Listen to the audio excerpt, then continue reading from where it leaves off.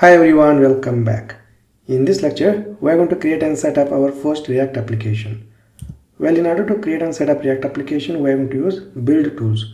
Well, there are two popular build tools out there to create and set up the React application, such as Create React App and Vite.js.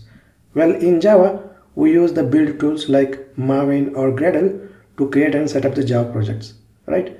Similarly, in order to create and set up the React application, we can use the build tools like Create React App or Vite.js. Well, let us first take a look into Create React App. Well, Create React App is an official supported way to create a single page React applications. It offers a modern build setup with no configuration.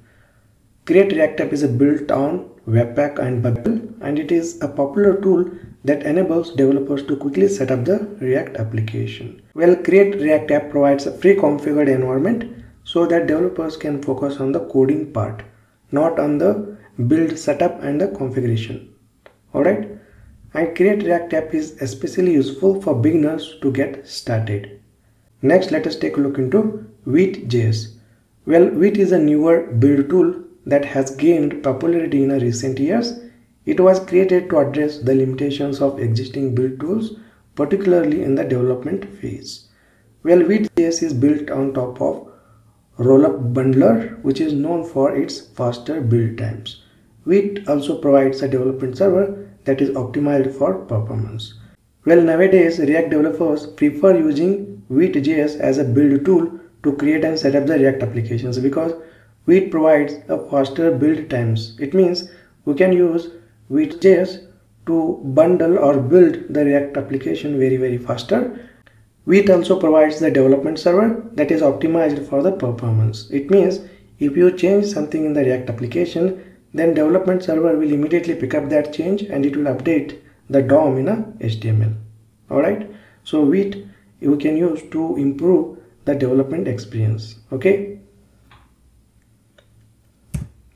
Now the question is which build tool we have to use to create and set up the React application. Well both Create React App and Vite are excellent build tools that provide the developers with a solid foundation for building React applications.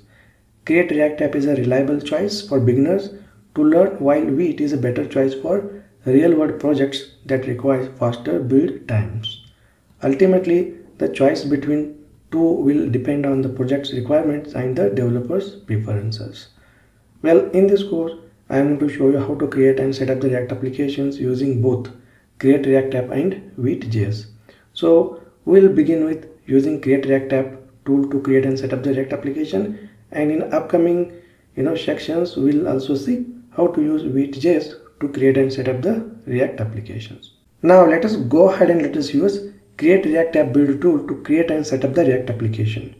Well in order to create the react application you need to install node.js and npm well if you just type node.js in the browser and go to download page and from here you can go ahead and download the node.js as per your operating system and you can install in your operating system.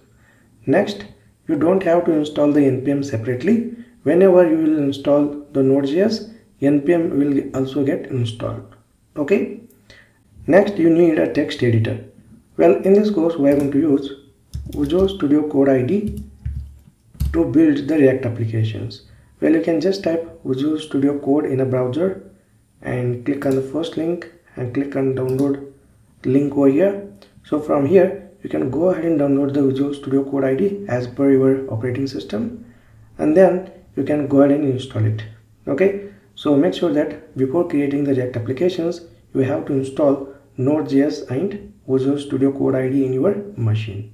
Alright, great. Next, let us go ahead and let's create the React application using Create React App tool. Well, first of all, let's create the workspace. For example, here in my file system, I have created React workspace as a folder. Within this folder, we are going to create the React applications. Alright, next, let us open the Visual Studio Code ID well I have already installed the Visual Studio Code ID so here let me open it. Next let me maximize this. And go to file menu click on open folder over here and then go to the folder. So in my case I have created react workspace as a folder. So let me select it. Click on open. Alright perfect. Next we are going to create the react application in this react workspace folder. So in order to create the react application we are going to use the commands. Well if you go to browser and in a new tab just type create react app hit enter click on the first link and click on get started over here. And you can see so these are the couple of commands that we can use to quickly create and set up the react application using create react app build tool. Alright so let us execute these commands.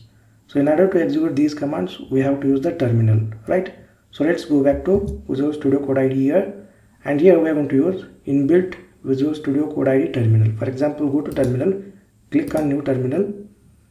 And here let us execute the command. So if you go back to browser the command npx create react app followed by the application name. Next let's go back to vs code and go to terminal and here just type the command npx followed by create react app followed by the application name. So let us give application name as react basics. Next hit enter. So this will take a couple of seconds to create and set up the React application. So let us wait a couple of seconds. And you can see the statement creating a new React app in this folder. Alright, perfect. And there we go. The React application is successfully created with the name React Basics. Well, if you go to React Workspace folder, within that React Basics is the React application name. Next, in order to run the React application, we can use the command npm start.